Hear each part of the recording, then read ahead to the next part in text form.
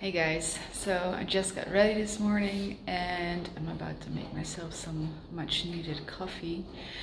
And then I thought I'd show you uh, some of the projects that I am working on right now and have been over several months. So I've got quite a few different projects going on and I don't know how it's with you. I'm not really good at starting, making, finishing a project all at once. I always tend to uh, leave it for a bit, maybe even several months, and then pick it up again and then leave it again because uh, I don't know how it is with you, but if I'm feeling creative and I get ideas in my head, I always have this urge to make it right away. And then if I'm working on a pro other project at that time, I'm just going to leave it and start a new one. And that's how I have a lot of different projects going on all at once. And I thought maybe it would be fun to show you today uh, all the things that I've got going on and maybe work on some of them, trying to finish them. And I love to know what are you team finish right away or team work on it, leave it, work on it, leave it. Let me know in the comments.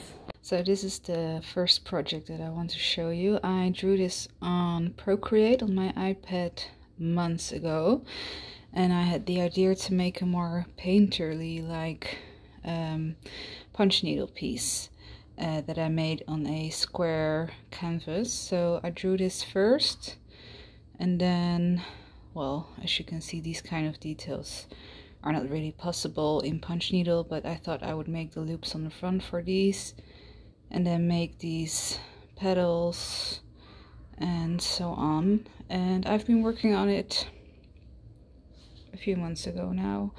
Let me just take the piece. So here it is. And yeah I think um, it looks kind of nice uh, at first I thought, oh, those petals are not going to work, but then I started making the background and by putting in the loops in between it was actually fine. So I punched the whole thing from the back except for the leaves here.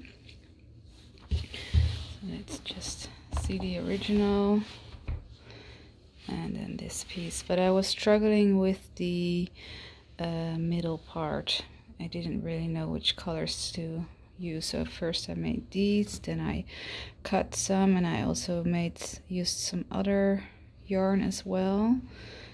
And then I thought no it's it's too I didn't really like it. I wanted to be more of a, a color that would pop more. So then I uh, made this one but I as you can see I have to go back and fill it in much more because this is not uh, filled up really well but yeah I started it. And I have to do more because I still have to make uh, this one maybe. Not sure if I will. Um, but I think it will be kind of nice when it's done. And I'm sure some of you might think this one is the better option but I like the fresh spring-like color of this one. So and unfortunately this color is unavailable to purchase at the moment and I don't have any more. So this project will have to wait. Let me just yeah here you can see I drew on this one as well. Yeah I think it's going to be a cool piece once it's finished but it will need quite some work still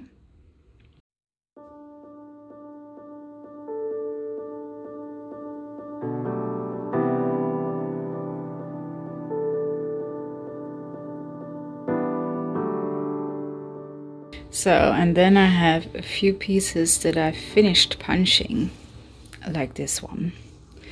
But they still have to be sewn into pillows or something. So I remember uh, this one was quite popular when I posted it on Instagram. I made this without making a design first. I just started punching and this came out it's a pretty cool piece with all these circular motions and cool textures. This yarn is so amazing. So, and in the meantime, we hear some sirens, but that's how it goes. So I've got this one, which should be made into a pillow. And I have also shown you this one before on Instagram. So if you're there, then you may have seen it. This is from a while back.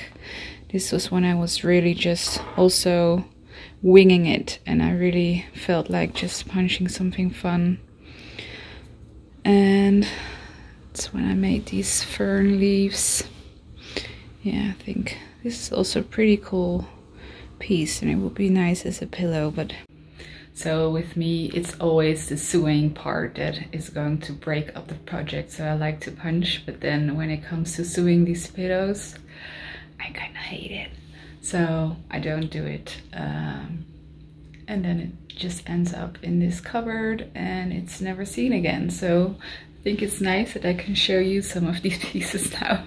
they get some daylight. Oh, this plant is not doing so well.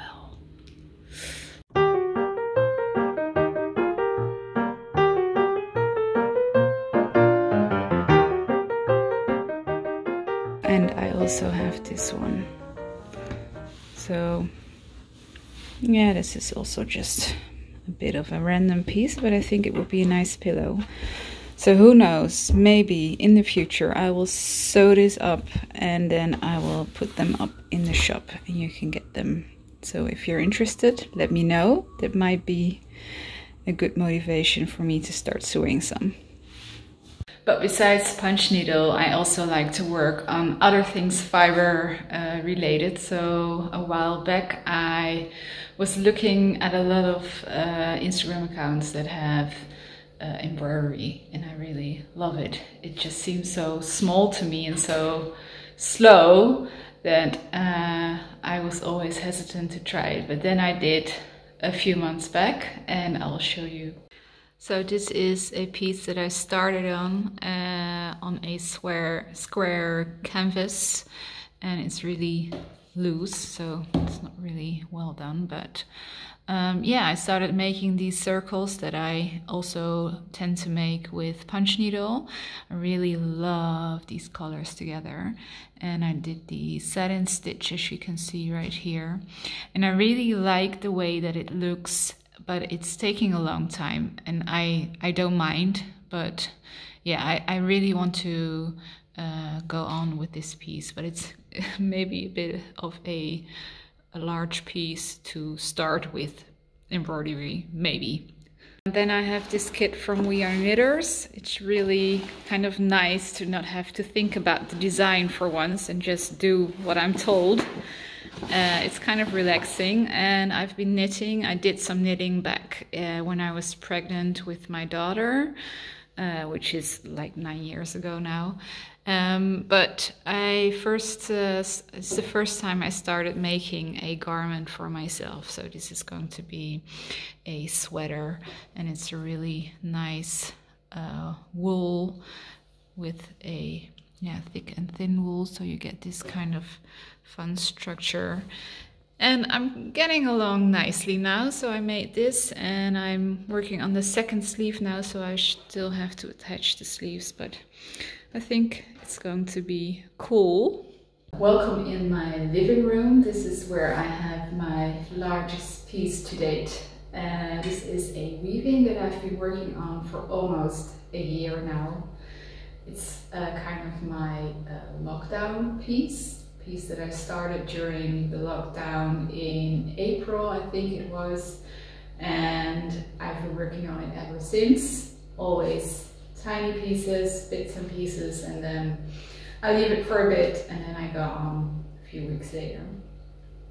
So this is a clothing rack from Ikea that I hacked into a weaving loom. I attached some wooden boards and then I put in a lot of these nails and then I could warp it like a normal frame loom.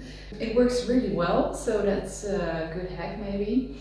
Yeah, I started working on this middle area first, first with some dark colors and then as the sun started shining I added more and more bright colors. I really was in need of something fun and bright at the time. This project was really a journey from last year till until now. I still have to finish this area right here and I'm going to finish it with all these fringe uh, that you can see right here and then um, yeah I still have to figure out what I'm going to do with the top part I'm not sure yet.